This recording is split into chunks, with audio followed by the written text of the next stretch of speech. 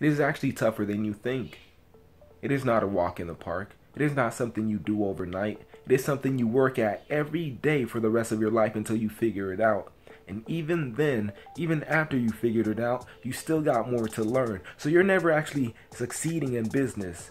You're progressing in business. There's a difference. So I want you to go out there and work as hard as you possibly can because quitting is for idiots. Quitting is for losers. Quitting is for people who don't care about their family because they're doing this as a grind for yourself and the people surrounding you.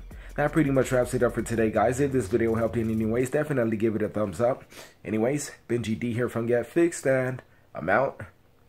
Peace.